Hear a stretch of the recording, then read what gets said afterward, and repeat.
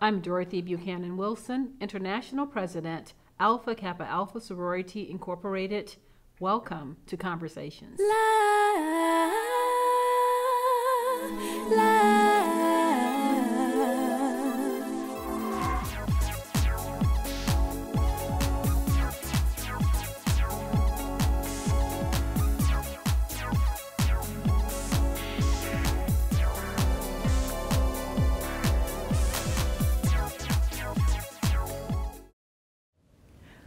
Welcome to this episode of Conversations. Today we are talking about leadership from an intergenerational perspective as Alpha Kappa Alpha has a number of generations of sorors in leadership positions. We have with us our International Second Vice President, Soror Autumn Kyles. Soror Autumn, welcome to Conversations. Thank you, Madam Supreme. Great.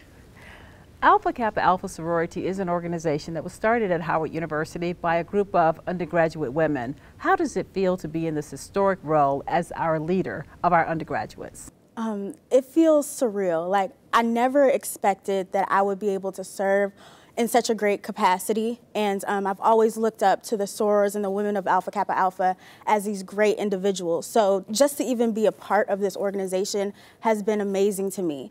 And to be able to serve in this role has been incredible. And it's been, um, you know, so amazing to be able to serve this organization. Right. We're always looking to have our undergraduate members serve in the role, um, be the second vice president or as undergraduate members at large. What advice would you give to those members out there who are seeking to serve and to run for those positions? Yeah, um, really just understand that you have the skills that it takes. I'm just like you. I'm an undergraduate. I, I go to Hampton University. Um, I just celebrated my second anniversary in November. So congratulations. Thank you. Um, so, you know, you can attain anything that you want to. And you just have to have faith in yourself and faith in your abilities to do it. So, you know, if you aspire to have this position, go ahead um, and, and, and do it and accomplish what you want to accomplish. When you ran for office, one of the things you said was that you wanted to be a vocal advocate for undergraduates. Mm -hmm. And as a president of the board, I can certainly attest to the fact that you are a vocal advocate for the undergraduate members. How do you balance the, the role of student, um, being on the international board, and the travel that comes with your role? Yeah, well, I have an amazing village of people who really help me out. Um, I have a great family, a great mom and dad who always support me and always help me to attain my goals. Um, I have awesome sorors and co-initiates who've always had my back through thick and thin and who always encourage me to, you know, accomplish my goals as well. And then um, I'm in a, uh, awesome major. Um, we're treated like family. You know, we all treat each other like family. So we have this saying called, we have your back and not your slack. So they're always helping me out as well. And um, with that, I've been able to um, make sure that I balance everything flawlessly and, and, be able to, you know, get good grades as well as, you know, serve in this position. Right. Alpha Kappa Alpha stands for scholarship, service, and sisterhood. And certainly service and sisterhood is a big part of what you are representing here on the board. So talk to us a little bit about what does that mean to not only you, but to today's generation of younger sorors. Right. Well, service and sisterhood is such a time, you know, they're timeless words. So I feel like it's not very much different from, you know, any graduate soror.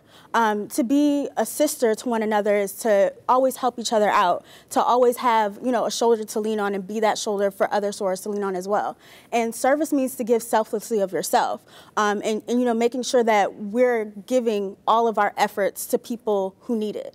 Um, so as undergraduates, we always want to, you know, have those things in mind. And I believe that undergraduates we do.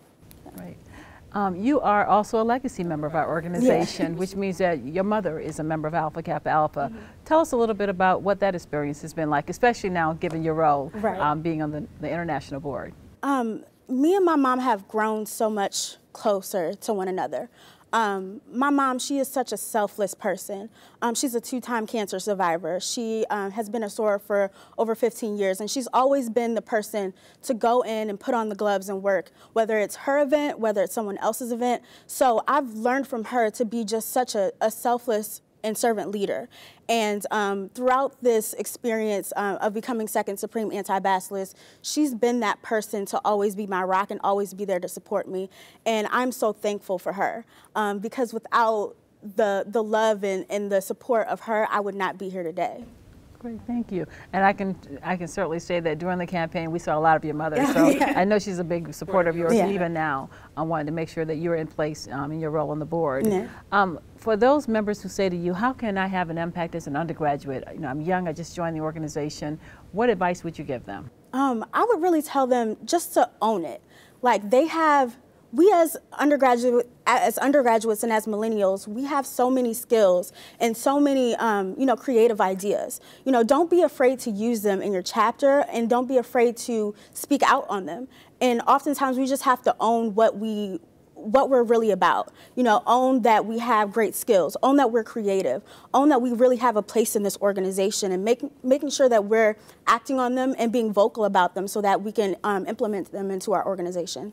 And speaking of own it, tell our audience what does own it mean for this administration of undergraduates on the board? Yeah, to me, own it just really means to be a great soror, um, to really be about our organization and really making sure that we are standing on what we believe as undergraduates and our skills as undergraduates and really making sure that we're sharing them with our organization and also being um, very knowledgeable about Alpha Kappa Alpha. We can't really do anything without the knowledge. And so um, making sure that we know about Alpha Kappa Alpha in our documents and then making sure that we're, uh, we're utilizing them. Right. What are some of the goals that you put into place for the next few years as you serve out your role as second international vice president? Yeah, so really what I want to do is just making sure that our undergraduates are more knowledgeable and more independent.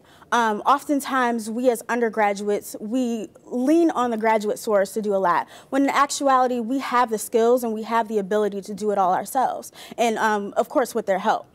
And so I want to make sure that undergraduates really know about our documents, they know about what we can and can, can't do as undergraduates, and that we're also having that platform to serve, whether it's on the regional or international level, or even in our chapters. Right. And I know one of the things you're a big proponent of is lifelong membership. Mm -hmm. So talk a little bit about what does that mean for you as you're preparing to transition from being a senior in college yeah. to a graduate member of the organization. Yeah. So lifelong membership to me um, means that you're always here to serve Alpha Kappa Alpha in any component. Um, you know, oftentimes we think that, you know, we have to be these, you know, gun-ho sorors all the time. And I understand that that's not always possible. But always being an active member, always, you know, serving in any capacity that you can, even though it's a little bit, and always making sure that, um, you know, we continue to perpetuate what Alpha Kappa Alpha means. That's what lifelong membership is. And when we get older and we're able to serve more, go ahead and serve. You know, use your your abilities in any way to make sure that Alpha Kappa Alpha is the greatest organization that we can make it for years to come. Thank you. And what does it mean to you to live fearlessly? Because obviously you're a good example of that as our undergraduate yeah. leader. Um, to live fearlessly means to have faith in God and His plan for you wholeheartedly. Um, understanding that He has a vision for you that you might not see, and trusting that His vision for you is going to be greater than what you know. And um, to live fearlessly means to just trust in Him and knowing that you're going to accomplish all of your goals by just having faith in Him. Great. Thank you, Soror Autumn, for being so our guest on Conversations. Mm -hmm. Continued success to you as you go forward in life, but more importantly, continue to lead our undergraduates in the very Thanks best manner that you can, and as you've started already. All right, thank you so thank much. You. Thank you again for joining us for this episode of Conversations, where we've had with us our International Second Vice President, Soror Autumn Kyles who continues to lead us in service to all mankind.